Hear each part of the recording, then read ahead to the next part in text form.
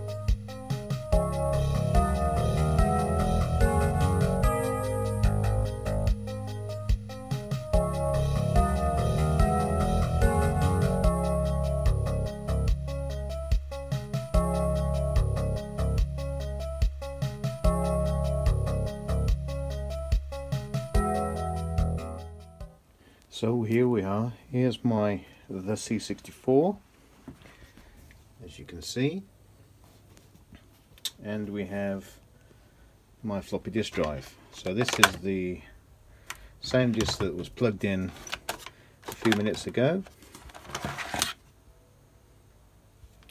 Number one written on it.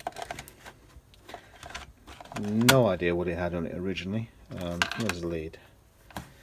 There we go.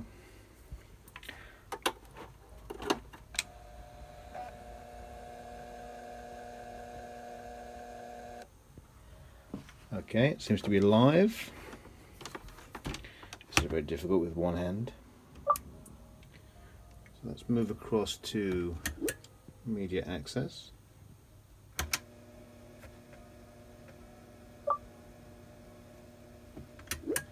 This seems to read the files. Let's turn fast load off for the sheer novelty and load.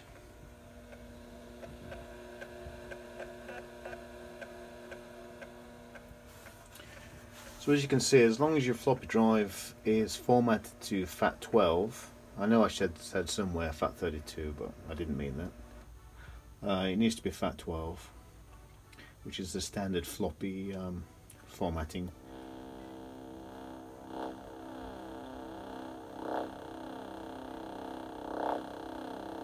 uh, you should be good to go.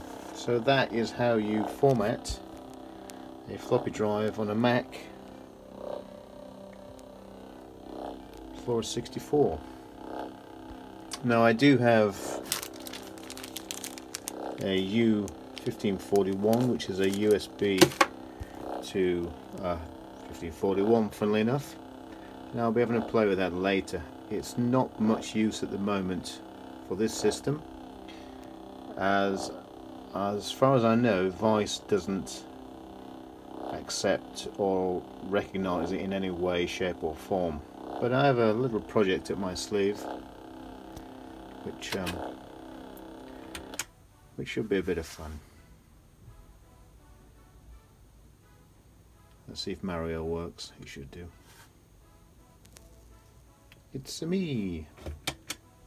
It's Mario. Bye.